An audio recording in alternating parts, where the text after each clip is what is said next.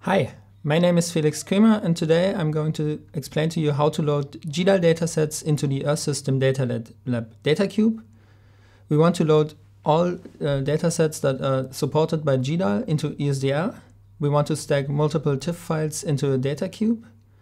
And then we are also going to look at how to concatenate different data cubes.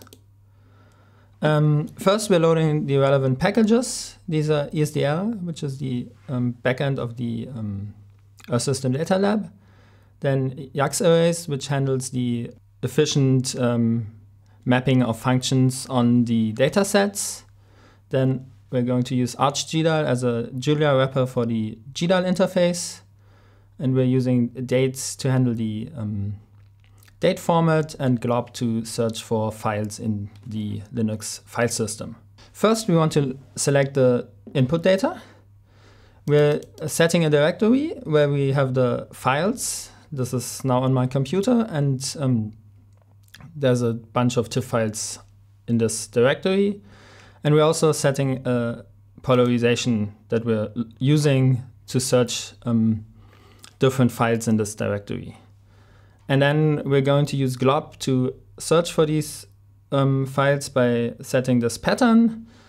This star is, says, okay, take every character that is there. Then we're inserting the polarization string. And then we say, okay, this file needs to end with .tiff to make sure that we're only looking at TIFF files. And then we're applying this pattern on the input directory. And by doing that, we get a list of file names. Um, in this case, 200 um, which we can then use to construct our data cube. Now we want to sort the input data by the acquisition date. First we extract the timestamps, then we sort them by uh, date, and then we apply the sorting on the dates and on the file names. Um, in our case, the file names have the structure like this. This is um, from the pyroSAR package, and is normalized, so we know exactly that there's first the um, satellite name, then there's the acquisition mode, there's the orbit, then there's the date uh, string in this format of uh, year, month, day, and then the timestamp. And then there's some other uh, preliminary information and we can write a function that uh, extracts this date from the file and we're using regular expressions for that. So we construct a regular expression that takes eight times all different numbers, then there must be the character t, and then there must be another six numbers, and this is exactly this pattern. And then we're also um, construct constructing a date format string that says, okay, I want a, year with four digits, a month with two digits, a day with uh, two digits, and then also the same for the hour, month, minutes, and seconds. And then we apply this, and then we um, can construct this uh, dates um, vector where we get a date uh, for every file name. And we're applying this on the whole vector by using this little dot.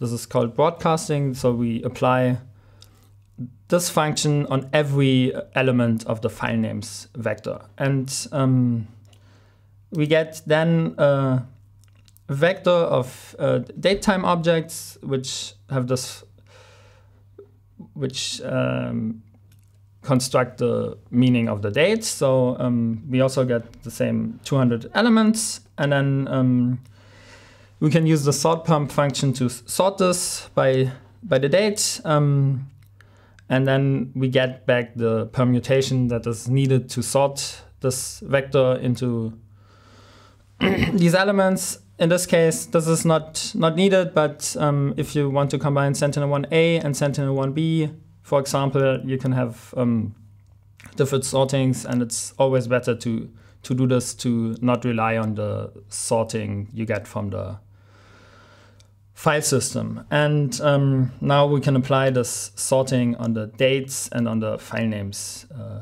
vectors. Now we want to make spatial mosaics of the single time steps. We group the images by the timestamp and then we generate temporary VRT files. We um, group the indices by the group times function, which is defined in the appendix. Um, it takes the sorted input uh, date vector and um, groups them if they're not if they're nearer than 200 seconds apart. And then we're constructing temporary paths to um, save our VRT files with the same um, base name as the input data and um, so that we can save the VRT files there. And um, then we construct a VRT file for every group. So we take the input files of this group and then we um, loop through the um, input files and then we um, read the data in ArchGDAL and then um, we construct a VRT file by this GDAL build VRT um, function and then we write the output to the temporary path and in the end we get the um, path groups. This is this is the file names of all of the VRT files.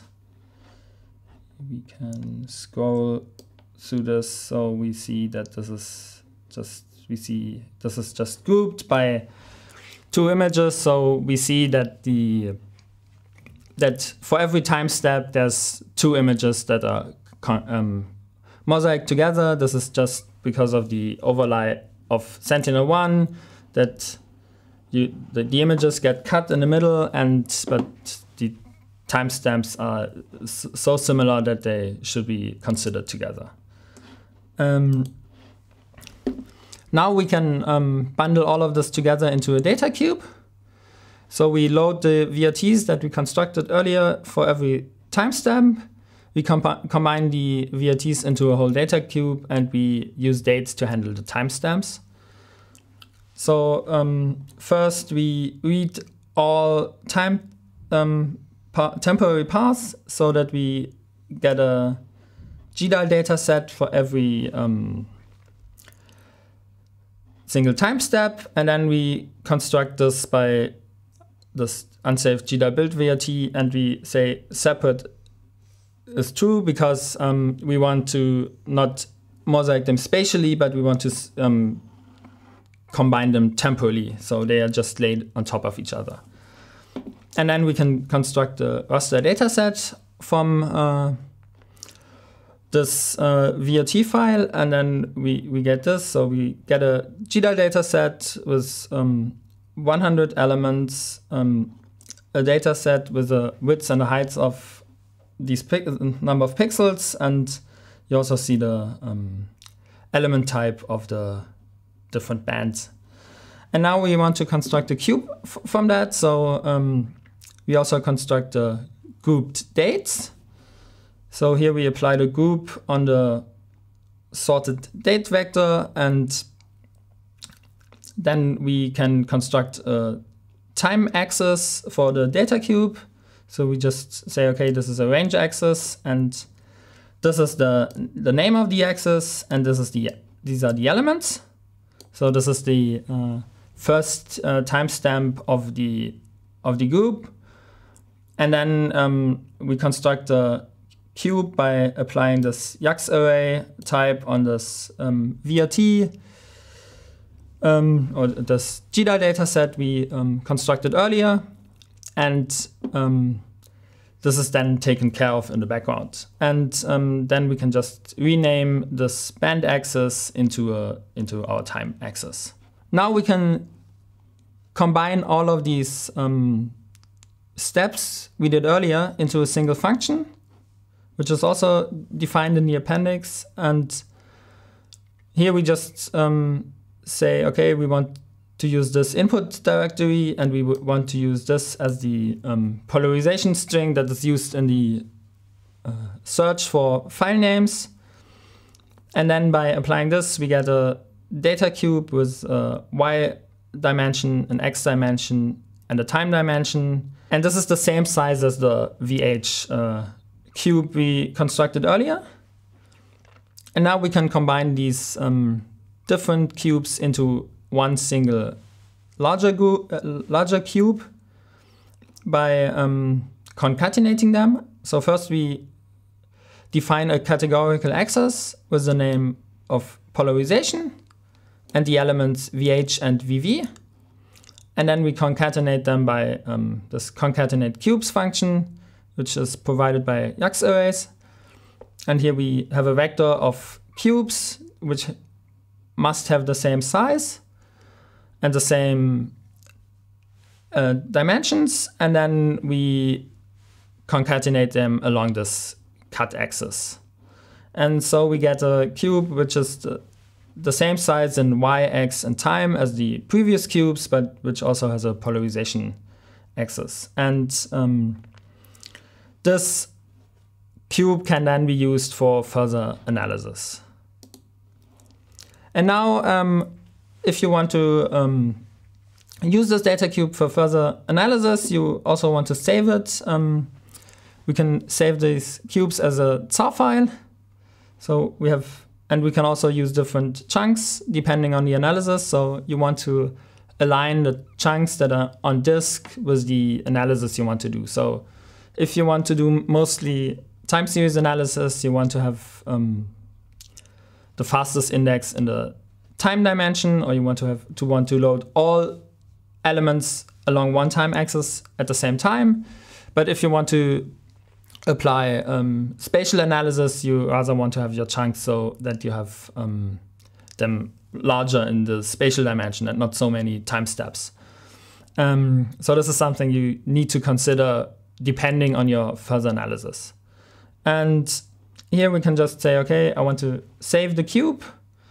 We, we can use the, the full cube here. I'm just using a subset of the cube to not uh, save so much, and then um, you provide a output um, path where you want to save the cube, and then we want to overwrite it, and then you can define your chunks. Um, so here I'm chunking 30 by 30 spatially, and the whole time axis and the whole polarization axis.